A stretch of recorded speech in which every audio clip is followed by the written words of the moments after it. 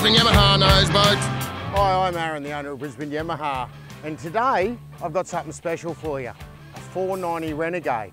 Now I've been bombarded on the channel for people saying, I want something a little bit bigger than a 460, do a 490. Well, here you go. It's like my kids saying, are we there yet? Are we there yet? Yeah, we are here, and we've got the 490 for you. But I've got a special one.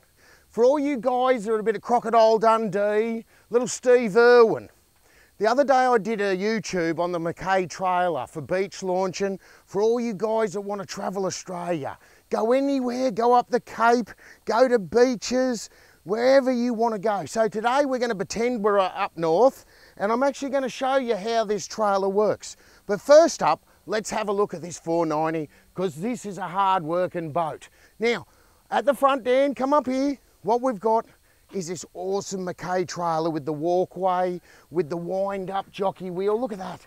And then it just knocks out of the way. You push it down, that handle even gets out of the way so you don't knock that up, up on the gutter and other things, you know? Awesome sort of bit of gear. And with the beach launch, we'll have a look. Look down that hull because it's got the full blade hull. Underfloor tank, and this boat's special. It's set up, it's going up to Hervey Bay. You know, the owner, he's had a lot of boats, but he came to Brisbane Yamaha because he wanted he knows. If you go out remote, you're gonna need the reliability of a Yamaha and you're gonna need the ride of a Quintrex with that blade hull. And these Renegades have just set records. Now have a look at it, because it's got Land Cruiser rims. I've brought my old 100 series to match it up. Big bearings there. Come back in and have a look at that suspension. So when you get into the rough stuff, if you've got normal trailer, you've just got the slippers. You know, the spring just goes into a little loop and you go over some big bumps and those springs just fall apart. Well, this is loop to loop, so it can't. This could go over any and the, the shocks will just stay in place. Now come to the back, because we've got a Garmin nine, uh, nine and a half inch on it. We've got the Minn Kota and we've got this Yamaha 90. Dan will put up the specs. He'll put up the specs on the 90 because I love those 90s. We've done a lot of them. I've sold hundreds of them. Hydraulic steer, Minn Kota, Garmin sounder, McKay trailer. What more could you want? Now today, like we do, we have the gas measurer for the truthometer. And this will be interesting because I haven't measured a 490. This is Clint, come in here. Clint fishes the piney. Today we're at Caboolture and fish and Clint catches a lot of whiting and bream. Good to have you here. We're not allowed to shake because of social distancing. Now what we'll do is, I'll get you to hold that and just off the end here, because they always think I cheat. But we'll come, we'll come back to here. Holy crackers. It's a 490 that measures 5'2". Right, even if you, nah, it's 5'2". You know, so it's a 490, it's a five metre boat. No wonder they ride well. Now I'll get you over the other side there, Clint. And what we'll do is we'll come just where this rail is and put it on the outside of the boat, over to here, 210.50. Now come on to the inside, Clint, so we can just see what the interior is. And what we are is 1760, one metre 760. Now up here, Clint, just in front of the console, same thing outside of the boat, two metres, have a look here, two metres 20, 10. Inside Clint. Now what Clint doesn't know is, he's actually the thousandth customer that come and be our measurer, one eight. Now, and he gets to take this boat home. No, only joking Clint, you don't. Down the back there, go right to the back, to just, uh, to the engine well. Just there, yeah? And what we've got working area, Holy crackers, how far's that? Can you see, uh, three, three, six, three, seven to the, that's not right.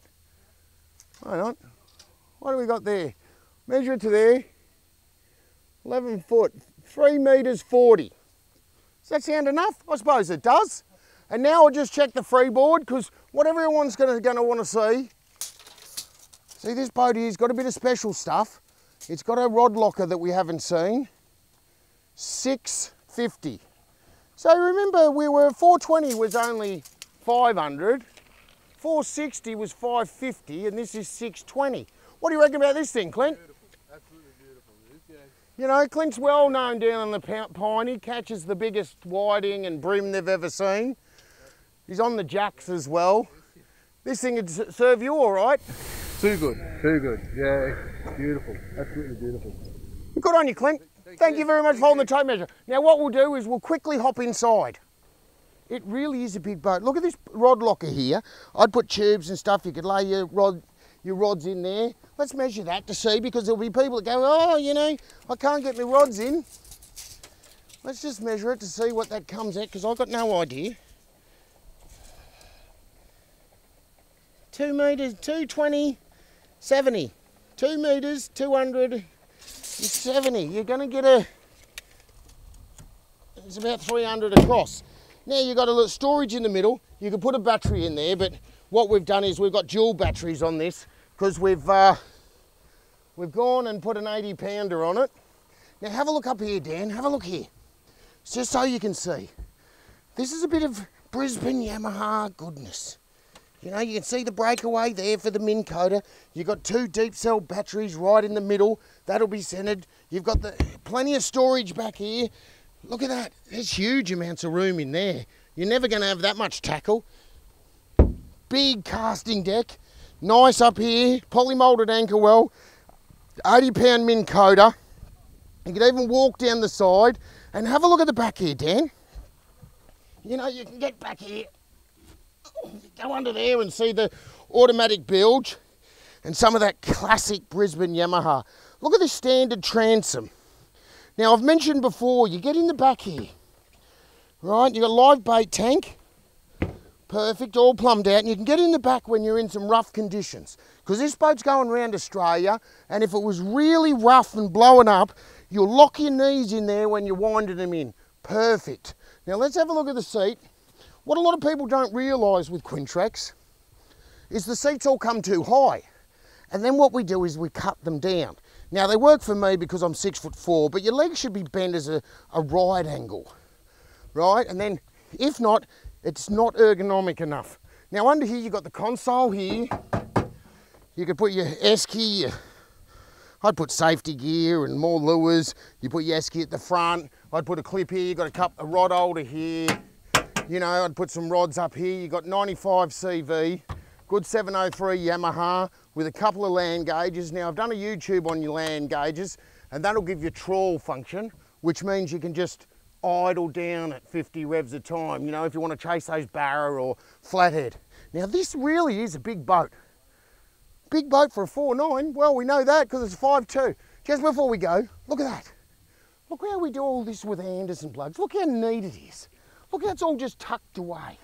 You know, unplug that, and what you do is plug it up to the battery charger. What we're gonna do is pretend we're down uh, at the beach or at a creek somewhere, and, and really because the trailer, the off-road trailer is higher, you have to put it in the water. So what you do, all you have to do is pull these pins out, pull that pin out, then we just grab the drawbar, come straight round,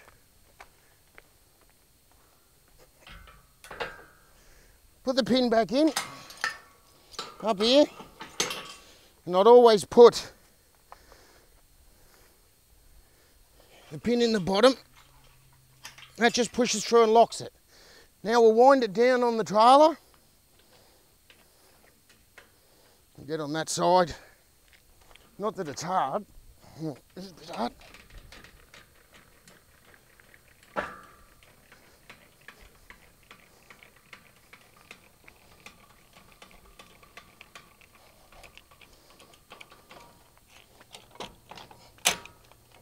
Look at that, and- this thing here just turns out of the way.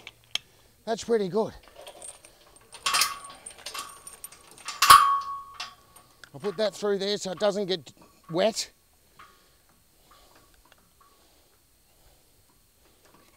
Okay.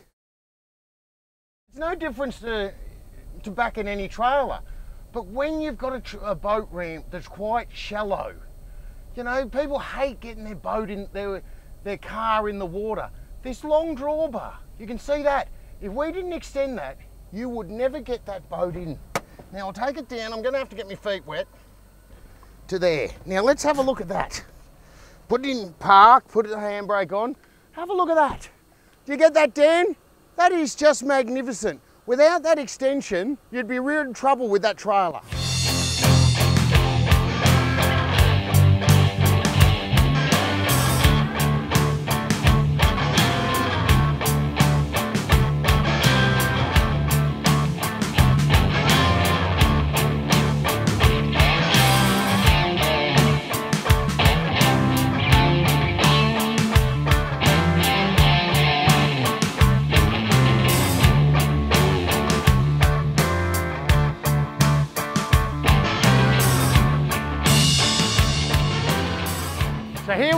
Are Caboolture River out in the Moreton Bay in a 490 Renegade as requested. So let's start off with the stability test. You know, if I was up here, I could hook up a crab pot, pull it in, cast, I could throw a cast net, I could sit up here, I could put my little seat here, I could cast all day. It's actually for a 490, this is a very large 490 as we looked. You know, the rod locker here, that's just a good thing. I would sit on that. Kids would sit down here, be easy to fish. So let's have a look at this thing. So we'll trim it down. I've got the sounder. I've got my phone down here for speed. It'll basically, because this is a sole boat, so we have to test it because it's going to Hervey Bay. There's no one in Hervey Bay you can buy a boat off. We sell lots of boats up there, you know, heaps. So you come up, come down to Brisbane Yamaha, you save money, you get a better boat. Now let's have a look. So we're just there. We've got the 90 horsepower on the one on the 490, and I'll take off. Well, straight away, seconds. It just bounces, jumps out of the water on top. I'm going along at 39. I'm using 12.3 litres an hour. Yeah, we're doing uh, we're doing 30, 36 Ks, 3.8 revs. We'll come over here because there's a boat over here you need to have a look at. Couple of me boys, I'll go a bit faster. We're doing 5, 5, and we're doing 55. It basically does a kilometre per rev. Now Dan, see if you can see that. There's a couple of mechanics. There's the famous Bowen Wayne, greatest fitters on earth. But guess what? We don't just take it for granted that they're the best. They come out and use it. That's a Bay Sport 605 going out. Awesome boat. You know? So look at that. We could have a 605. We could have the Renegade. What an awesome couple of boats that is. You know? Oh, I got right away.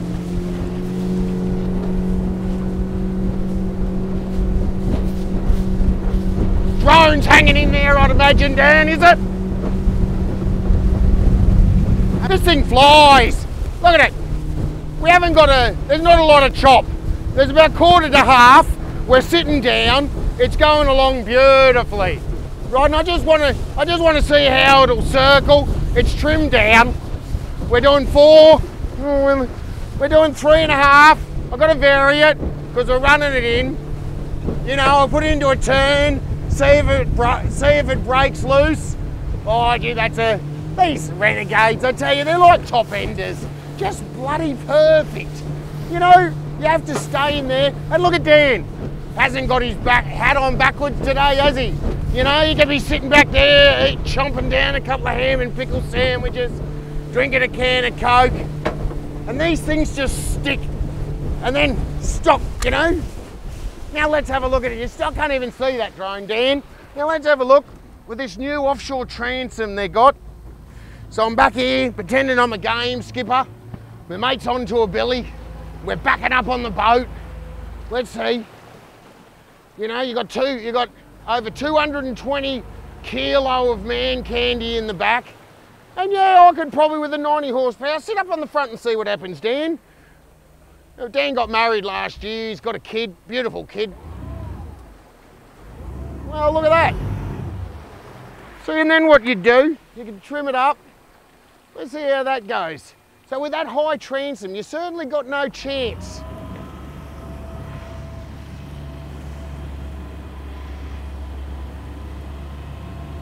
Chasing the fish as your mates on the billies. You know, chasing mackerel or something. I'd normally just run off the front. If it was me and I had a big fish, I'd be here fighting the fish. We would be driving and we'd be working that fish the whole time. You know, so let's have a look. Now we, we'll just pot off, trim down, we'll trim it down because I'm right out because we're when we were back and back. Trimmed right in. Now watch this hull. Right, so standing stop. I just give it a little squirt. I got up to I got up to four and she jumped out at about three and I'm doing 3,029 RPM. It's holding plane, 2.8, 2.7, 2.6, 2.3 and it's just dropped in. Right, and then up there, 3.8, cruising along at 35, three, uh, three and a half. I've lost my phone so I can't tell how fast we're going. 32, going 32 kilometres an hour. We're using 11 litres an hour. And it's all too easy, isn't it? You know, I could probably hop out and walk around the boat. That's it, look at that. Look at that. Walk around, Dan. Have a look at this thing, no hands. Dan's got the balance of a cat. You know, look at him, stealthy. Can't believe he didn't fall over. Well, and then we are running late for Grandma, and off it goes because you've got to vary the revs. Check this thing that it revs out, that it's propped right. You know, it's not going to do anything wrong. Turns, stable, incredibly dry. You know, I tell you what, you really have to come for a water test. If you're serious about buying a boat, you need to come in one of these Renegades, top enders.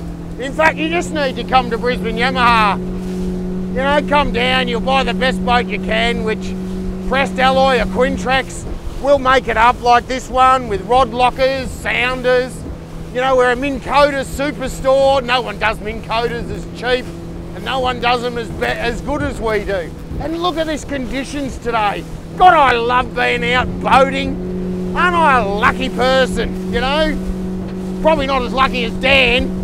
He hasn't got the interest payments I've got. You know, look at this thing. It is just stable. I don't even know what I could do to make this boat because you could stand up, look at that. You know, stand up and work it, feeling good. I'd probably just drive around. I got the snail trail telling me where I've been. I'm just motoring in. Where is that drone, Dan? Over the side, look at it. This is just easy boating. You know, and that's what it's about. It's about buying the right boat for your family. And if you get the right boat for your family, you'll use it. Your family will love it. you'll spend some real, you'll make memories. That's what it is. You'll make family memories and in years to come, your kids will sit down and talk about how mum and dad used to take them out in the bay, take them to Somerset, used to go up to Hervey Bay, you know, go out to Noosa. Oh, we'd go out to Noosa and go in the Noosa River, go and catch fish, prawns, crabs, go out to Somerset, water ski. Make no mistake, you could do any sort of water sports in this thing. If you're thinking about a Quintrex, you're thinking about a fiberglass boat, a used boat, if you need a trip, if you need a service, do yourself a favour, call the team at Brisbane Yamaha. We've got everything. We're Australia's biggest for a reason. We're the best. Best products, best service, best prices. Come and give us a call. 3888 1727 or brisbaneyamaha.com.au. And I'll see you on the bay.